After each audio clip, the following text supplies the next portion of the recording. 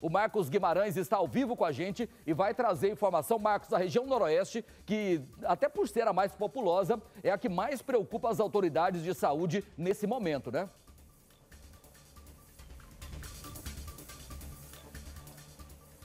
Exatamente, Loures. Boa tarde para você, boa tarde para todos que nos acompanham aqui pelo Balanço Geral. Historicamente, é a região com maior número de casos, mas toda a cidade de Goiânia é uma grande preocupação, porque é a segunda é, cidade com maior número de casos confirmados de dengue no país. Foram mais de 22 mil casos, três pessoas morreram, né? três mortes confirmadas por dengue. Vou conversar agora com o Murilo, diretor de Vigilância em Zoonose. Murilo, boa tarde para você. Hoje vocês realizaram uma ação aqui na região, né? Até para tentar evitar um número ainda maior. Boa tarde, Aloares. Boa tarde a todos que nos assistem. É, nós lançamos hoje aqui na região noroeste de Goiânia, que é a região que historicamente tem o maior número de casos da capital.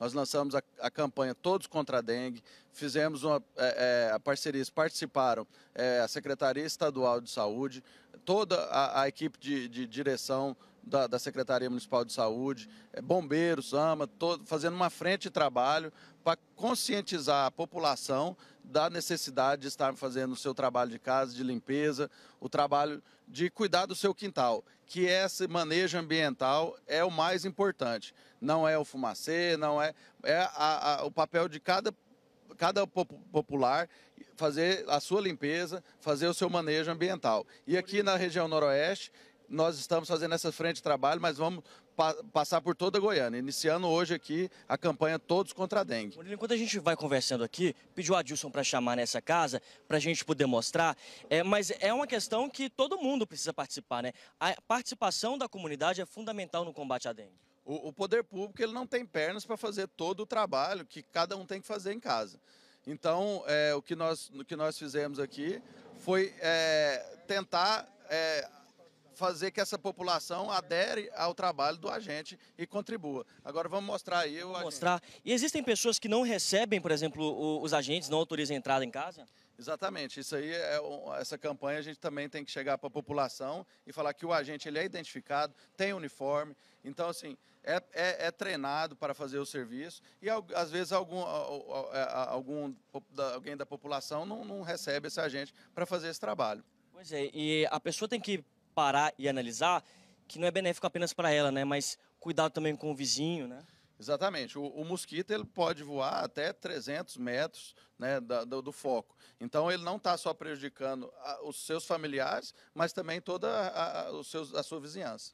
Ô Lores, vou conversar aqui com o Adilson também, que está fazendo o trabalho. O Adilson, você vai fazendo o trabalho aí, mas vou te perguntar, geralmente os maiores focos que vocês encontram no dia a dia são onde? São o quintal que muita gente não faz a limpeza corretamente. Aqui, por enquanto, está sendo correto, inclusive o pneu está virado. Olha só, mostrar o pneu aqui. Inclusive o pneu está virado, sinal que a pessoa da, da população está fazendo corretamente.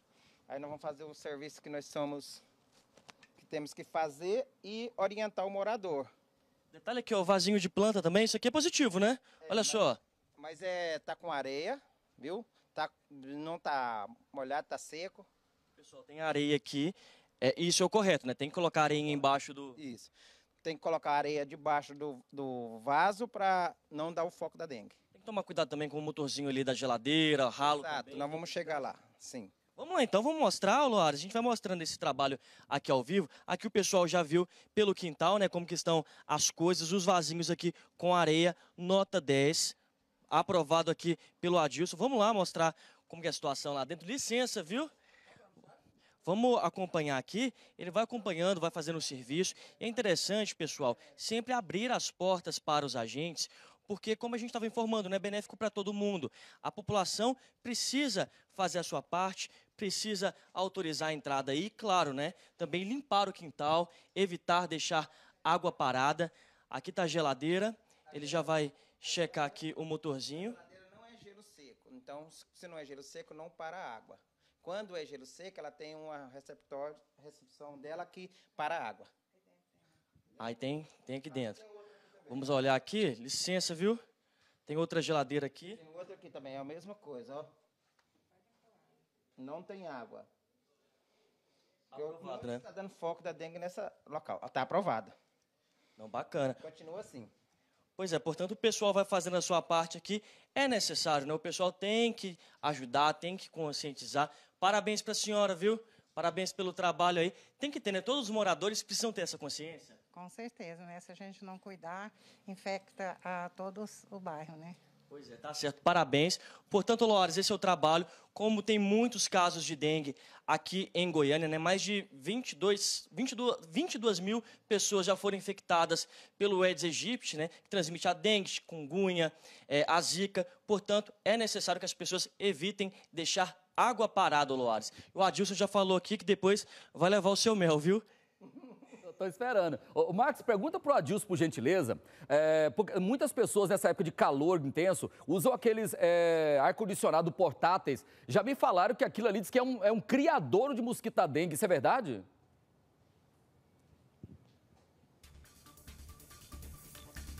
O Loares está falando sobre aqueles aparelhos de ar-condicionado portáteis. É, se eles se tem muita água parada ali, Alguns deles a gente encontra. Aí a gente orienta bem o morador para que não possa ter água parada. Porque muitos colocam balde, essas coisas, vai pingando a água do ar-condicionado no local, entendeu? Até mesmo a caixa d'água, né? Às vezes a caixa d'água fica destampada, né? Até mesmo a caixa d'água. Nós orienta todos os moradores a maneira correta. Tem a telinha. Tem, tem a tela, tem tudo. Perfeito, Loares. Obrigado, viu, Marcos? Só para explicar para as pessoas que não estão entendendo que essa conversa de abelha, que o Adilson também trabalha né, na retirada de abelhas em áreas públicas, postes, casas e tudo mais. E ele é uma das pessoas que também me orienta, porque eu estou começando lá na, no sítio a trabalhar com abelhas. Então, ele é uma das pessoas que me orienta como cuidar de abelha. E, e muito no caso do, do, do, da dengue, você sabia disso, Elias? Muitas pessoas que. Cadê o fumacê? Cadê o fumacê? O fumacê destrói as abelhas, mata as abelhas. E aí, se sem abelha, não vai ter polinização. Sem polinização, não É tem não tem comida. E aí vira um problema sério. Obrigado, Marcos. Um abraço para você. Obrigado, Adilson.